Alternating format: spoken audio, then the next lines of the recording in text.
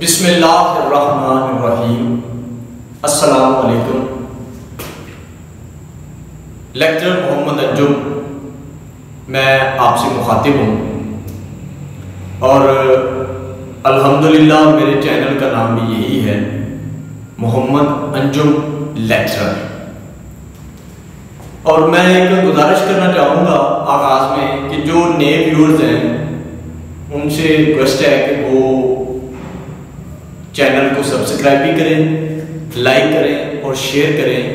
کیونکہ یہ کنٹینٹ اس طرح کا نہیں ہے کہ جس میں میں یہ کہہ سکوں کہ یہ اس کو کوئی ایسے آپ نے جو ہے نا وہ وائرل ہو جائے گا یا ایسے ہے.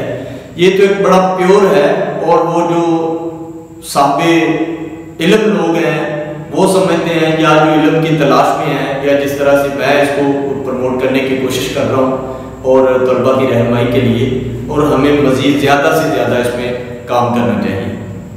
آج کا ہمارا اس حمد کا، نظم کا پہلا لیکچر ہمارا ہو چکا ہے۔ اس لیکچر میں ہم نے بتایا تھا کہ نظم کیا ہوتی ہے۔ نظم کی تعریف کیا ہے، کہاں سے یہ نکلی اور اس سوال کا تعلق کیا ہے۔ اس حصے میں ہم نے بات کی ہے صرف اور صرف خلاصے کی۔ نظم کے اس حصے میں میں آپ کو یہ بتا دوں سب سے پہلے کہ جب تشریح کریں تو تشریح میں سب سے پہلے آپ نے شاعر کا تعارف دینا ہے۔ کیونکہ اتنا بڑا کام کرنے والا جو شخص ہے، اس کا تعارف ہمیں بتانا ضروری ہے۔ ایک اچھا تاثر پڑتا ہے ممتحن کے اوپر۔ شاعر امیر منائی نصیر الدین شاہ اودھ کے عہد میں لکھنؤ میں پیدا ہوئے۔ حضرت مخدوم مینا شاہ لکھنوی کی اولاد میں سے تھے، اسی لیے اپنے نام کے ساتھ مینائی لکھتے تھے۔ آپ بیالیس سال رامپور کے نواب یوسف علی خان اور کلب علی خان کے استاد رہے۔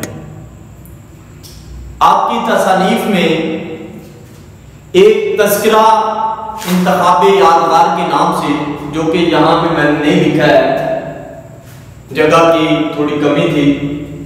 محمد خاتم النبیین صلی اللہ علیہ وآلہ وسلم اس آپ کا جو ناتیہ مجموعہ ہے، اسی کے اندر یہ حمد بھی شامل ہے۔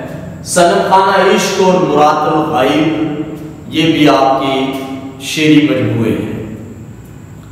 اب ہم بات کرتے ہیں چھ شاعر ہیں اس نظم کے اور کیسے ہم نے کیا ہے؟ سب سے پہلے یہ شعر لکھا ہے، دوسرا کون ہے؟ جہاں تو ہے۔ کون جانے تجھے کہاں تو ہے؟ آپ نے اس کو کیسے کرنا ہے کہ جب آپ کو شعر ہے اس کے بعد آپ نے مفہوم لکھنا ہے۔ اے اللہ، جس مقام پر تو فائد ہے، وہاں کوئی دوسرا نہیں ہو سکتا۔ اور کسی کو یہ بھی نہیں معلوم کہ تو کہاں ہے۔ جی شاید یہی تو کہہ رہا ہے کہ کون جانتا ہے کہ تو کہاں ہے، لیکن تو ہر جگہ پہ موجود ہے۔ دوسرا کوئی ہے بھی نہیں ہے۔ اس نظم کے متعلق اس شعر میں اللہ پاک نے واضح طور پر حمد کے اندر امیر مینائی نے اس بات کو بتانے کی کوشش کی ہے کہ اللہ پاک کی ذات اس کے علاوہ کوئی موجود نہیں ہے۔ توبہ، نعوذ باللہ، جو بات کرتے ہیں شرک کی، اور شرک ایسا گناہ ہے جس کی معافی نہیں ہے۔ دوسرا کوئی نہیں ہے جہاں میں۔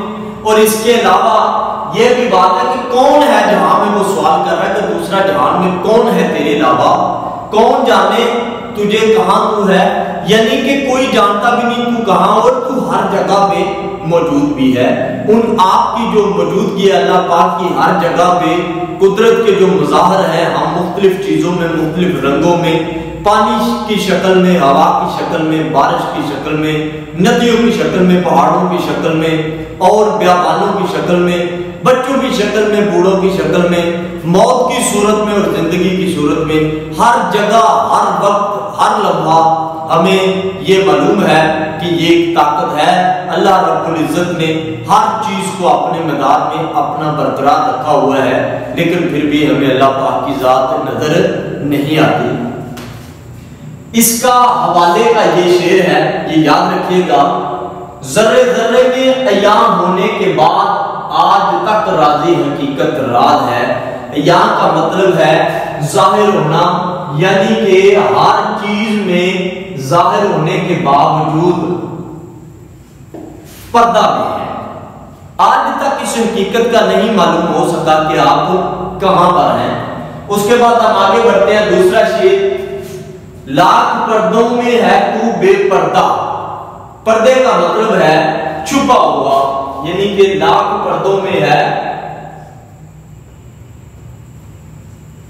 بے پردہ، سو نشانوں پہ بے نشان تو ہے۔ یعنی کہ جتنے بھی پردے ہیں، کتنے بے تحاشا، کوئی پتہ نہیں ہے۔ کس جگہ پہ ایک آسمان، دوسرا آسمان، تیسرا، چوتھا، پانچواں، اور اس سے بھی بات کی بات ہے، ایک ہستی دنیا کے اندر جو کہ اپنا وقت گزار کے، جس کے متعلق اللہ پاک نے فرمایا کہ محبوب اگر میں آپ کو نہ بناتا تو میں یہ کائنات ہی نہ بناتا۔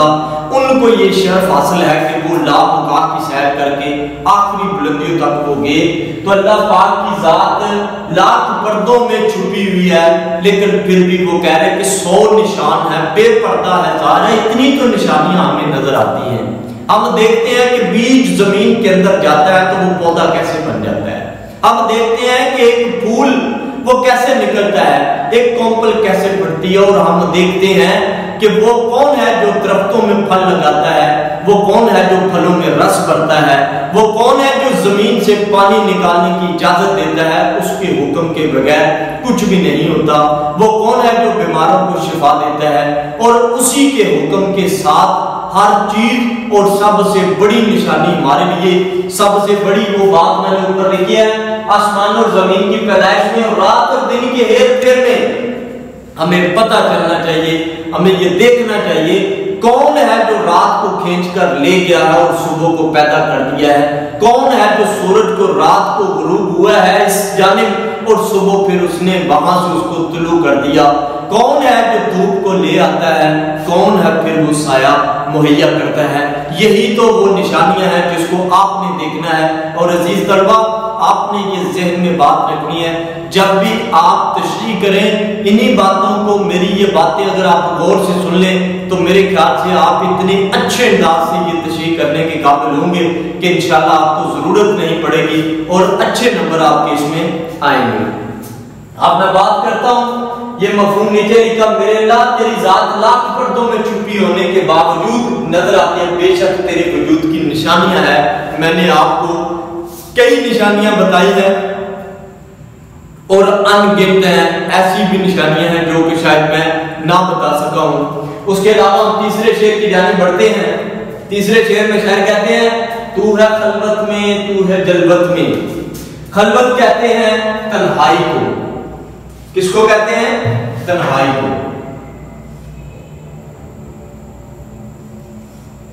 جلوت کہتے ہیں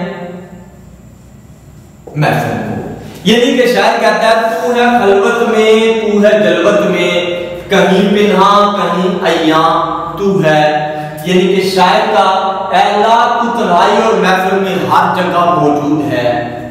لیکن کہیں تیری ذات چھپی ہوئی ہے، وہ کہیں واضح نظر آتی ہے۔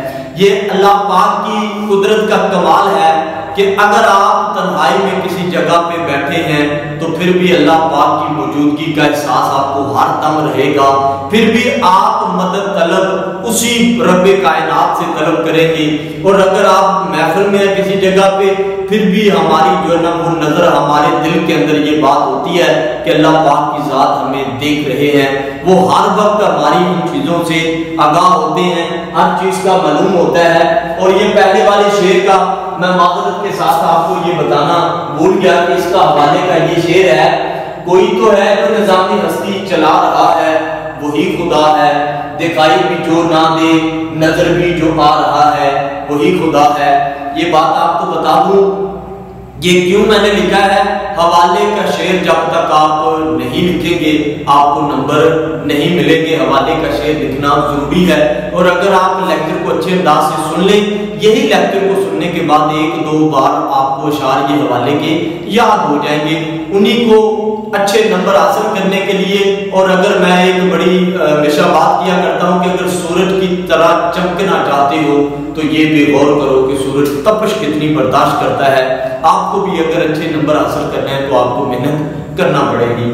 اس کے بعد بات کرتے ہیں کہ خلوت اور جلوت میں موجود ہے۔ پھر شاعر کہتا ہے، ہر رنگ تیرے رنگ میں ڈوبا ہوا نکلا، ہر نقش تیرا نقش کفے پا نظر آیا۔ یعنی کہ جو بھی رنگ ہیں دنیا کے اندر، تیرے رنگ میں ڈوبے ہوئے نکلے۔ ان رنگوں کو پیدا کرنے والا تو ہے، ہر جگہ پہ تیری موجودگی کا احساس ہے۔ میرے مولا، تو ہر چیز میں نظر آتا ہے، جس کے باوجود یہ بات شہر کر رہا ہے کہ تو محفل میں بھی ہوتا ہے اور تنہائی میں بھی ہے۔ لیکن ہر جگہ پہ ہمیں اس بات کا احساس رہتا ہے کہ اللہ پاک کی ذات ہر وقت شامل حال ہوتی ہیں اور اللہ پاک کی ذات ہمیں دیکھ رہی ہوتی ہے بہت شکریہ۔ امید کرتا ہوں اس کے بعد اس کا اگلا لیکچر ہوگا، چونکہ ایک ہی لیکچر میں اس کو سمیٹنا مشکل امر ہے۔ اس وجہ سے میں نے تین اشار ہوا اور انشاءاللہ تین اشار کی اگلا جو ہے وہ لیکچر میں تشریح کی کریں گے اور سمجھیں گے۔ بہت شکریہ۔ السلام علیکم۔